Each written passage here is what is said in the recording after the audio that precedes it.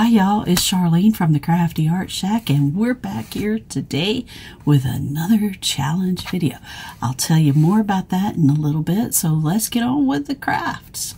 Let's go. All right, here we go with DIY number one. All right, here we are at the craft desk. Now, for this craft, you're going to need one of these little molds, a dowel rod, some scissors, one of those little wood rounds. Now, those wood rounds uh, you can get at the Dollar Tree, but I think you can get them at uh, Walmart as well.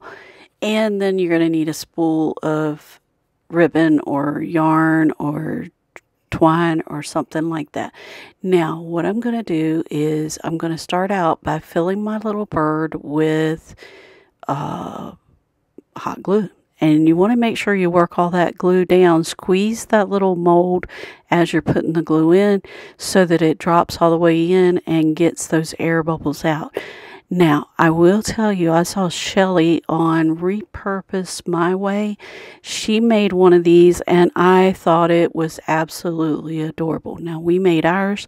We got an alarm going off. Yep, we sure do. Sorry about that, you guys. Um, anyway, we are going to make ours a little different. We're going to put our little spin on it. Now, I'm going to set that glue, uh, the little bird with the glue to the side and let it dry.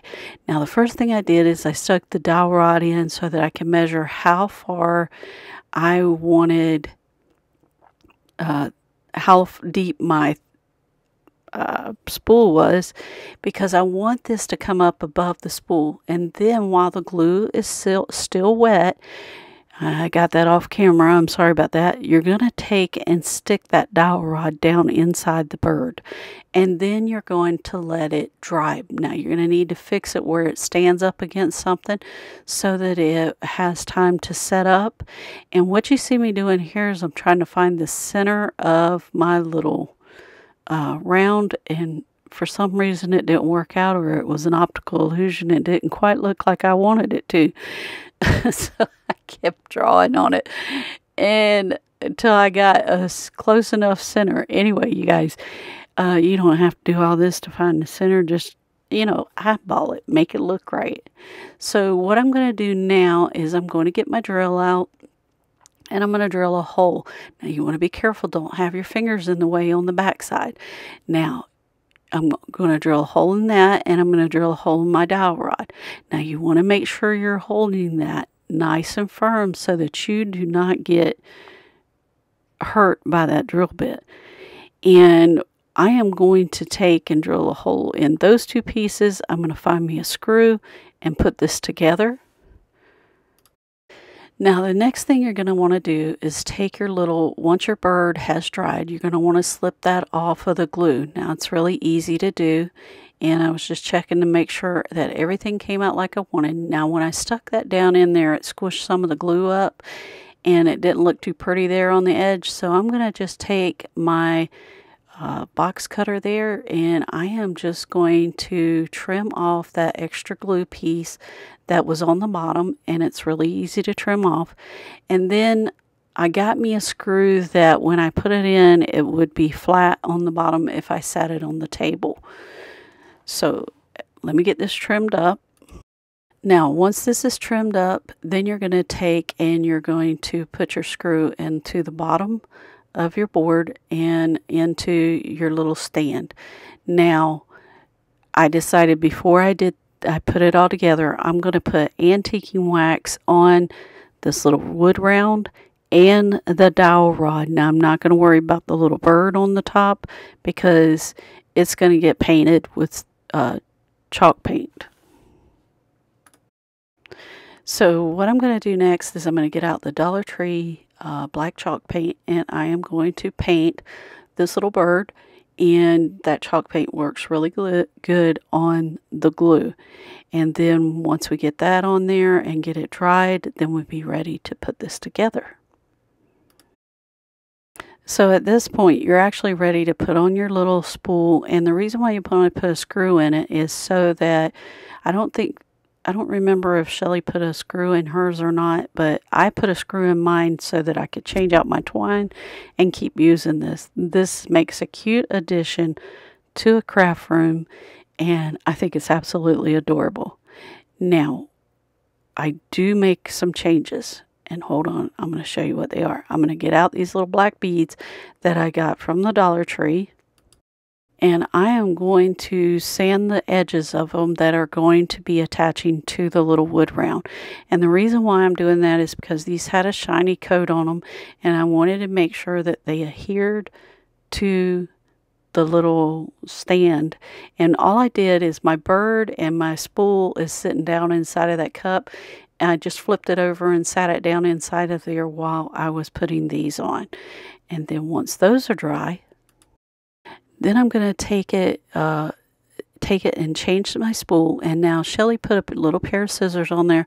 This is the smallest pair of scissors that I found. actually got them off of Temu and I'm just tying them on with twine. And then because this is a, a summer challenge, I wanted it to look very summery. So I put the yellow twine on there and I'm going to, yeah, get the spool tied on there at some point and then I'm going to add some little flowers and embellishments and I don't uh, remember what all Shelly did to her. So here's where it becomes my uh, design because I'm going to take and start adding some little flowers and embellishments and we will see the rest of this at the final reveal. You guys, this turned out so cute. Now today's video is a minis challenge and it's by crafted by Corie.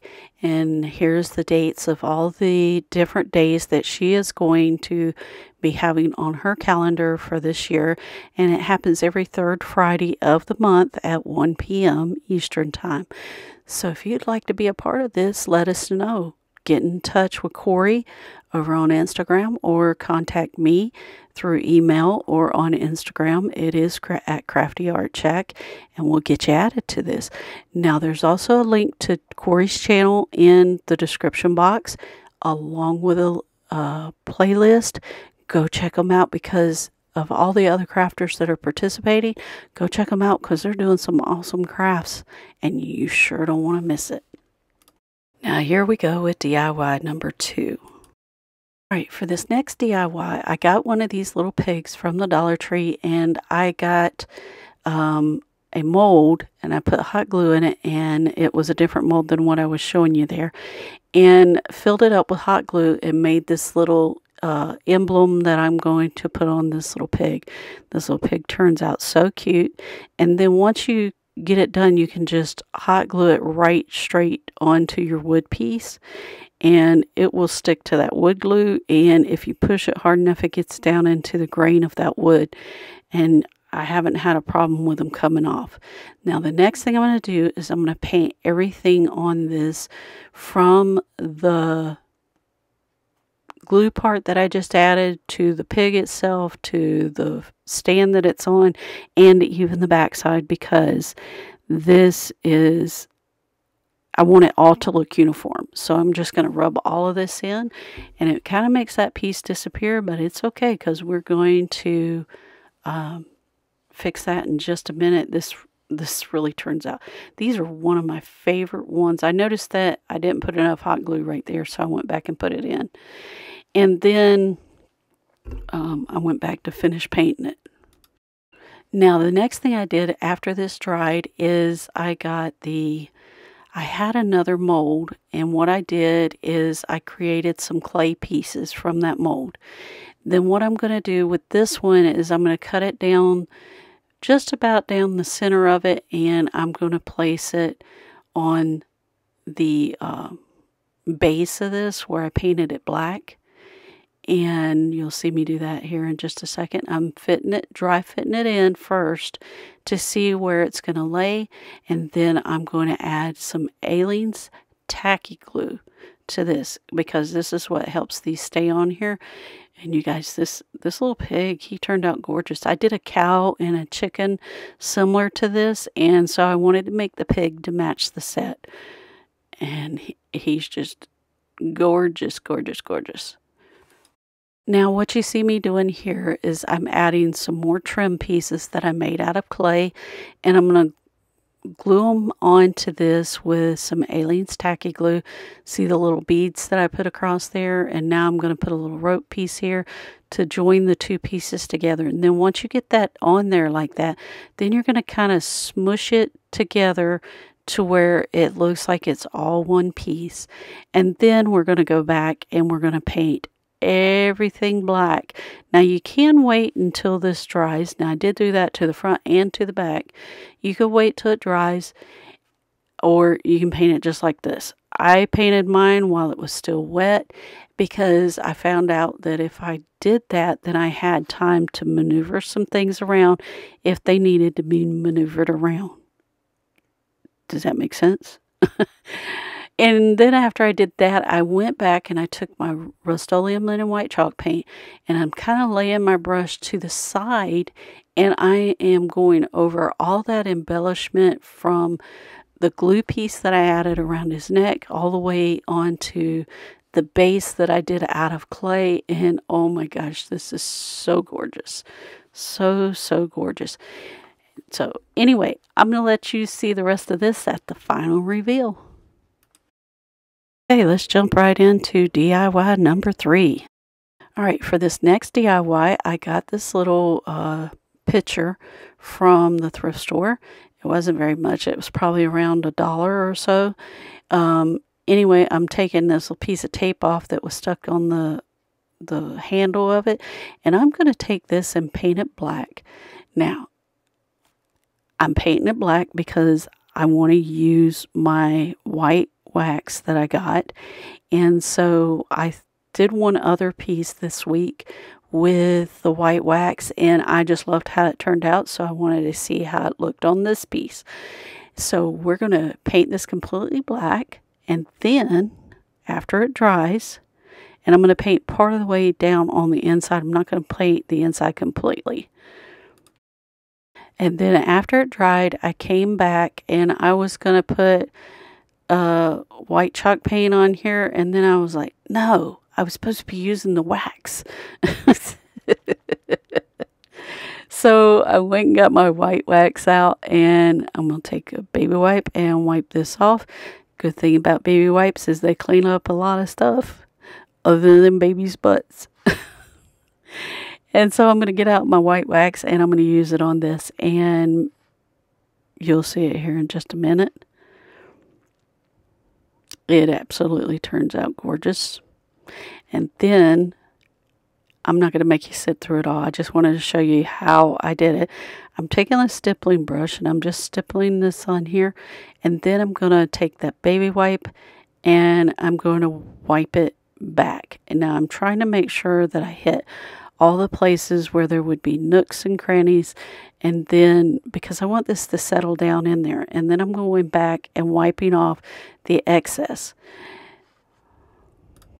And then after that's completely dry, I take and stick me a piece of uh, foam down in there and I get me some real pretty uh, summery flowers and I am going to start making an arrangement in this little uh, picture, and this turned out so cute.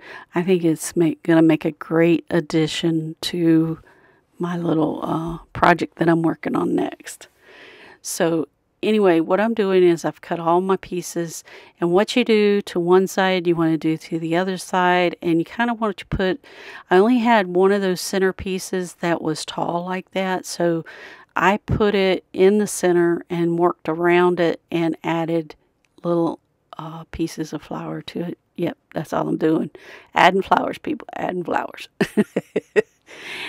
and so, anyway, I don't think you need to see this. I think everybody knows how to stick a piece, a stick of flower in a piece of foam, and if it don't look good, pull it out and start over. The next thing I did is I got my twine out from the Dollar Tree and I'm wrapped it around my fingers like you see here. And then I'm going to tie a little bow and um, spread that out. Sorry about that, you guys. I thought I was in the camera frame. Sometimes I get busy working and forget to get up there where the camera's at. So anyway, I'm going to tie this on and then once I do that, then I am going to show it to y'all at the final reveal. That's what I'm going to do. Sure am. So we'll see this then. Now, at this time, we'd like to thank our subscribers. We love you bunches and we really appreciate you. And here we are with the final reveal.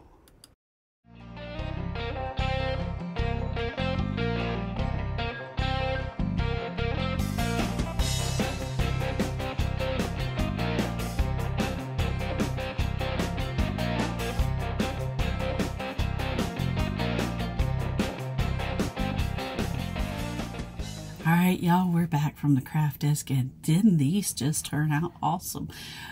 Well, if you like this content, subscribe, like, and share because it really helps our video out. And for all our subscribers, thank you so much for everything you do for us by subscribing to the channel. And we'll see you in the next episode of the Crafty Art Shack. We'll see you later. Bye.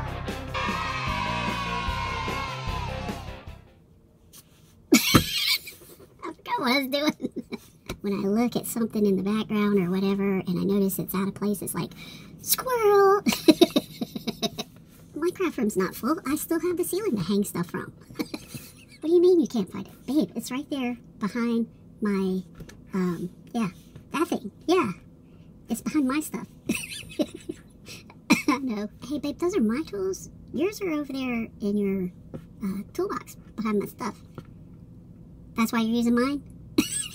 Listen, I have everything right here in hand's reach so that I can do a video. Why is it over there?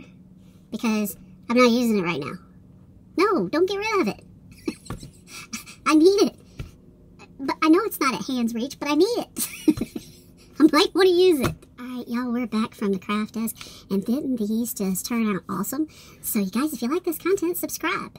Hit that notification bell and give us that big thumbs up because it really helps our channel out. And we'll see you in the next episode of the Crafty Art Shack. We'll see you later. Bye.